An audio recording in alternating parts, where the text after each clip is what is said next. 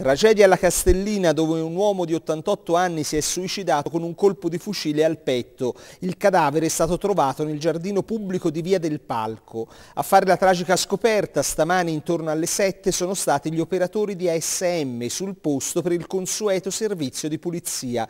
Il corpo era adagiato ai piedi di un traliccio. Immediato l'allarme con l'intervento della polizia e del 118. Secondo una prima ricostruzione la morte risalirebbe alla scorsa notte. La vittima un ex artigiano, viveva da solo dopo la morte della moglie e abitava in un appartamento non distante dal giardino dove si è ucciso.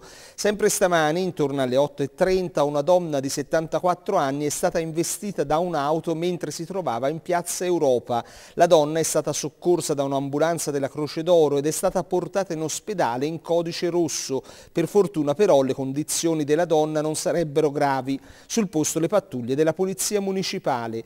Nel tardo pomeriggio di ieri, invece, singolare incidente per una ciclista di 46 anni che mentre stava facendo un giro in bicicletta sulla ciclabile che costeggia il Bisenzio lungo Viale Marconi ha perso l'equilibrio ed è caduta giù. Il volo, di circa 7 metri, si è concluso tra la vegetazione lungo la riva del fiume. La donna è stata recuperata dai vigili del fuoco e poi portata in ambulanza al Santo Stefano con qualche ammaccatura, ma per fortuna senza nessuna grave ferita ferita.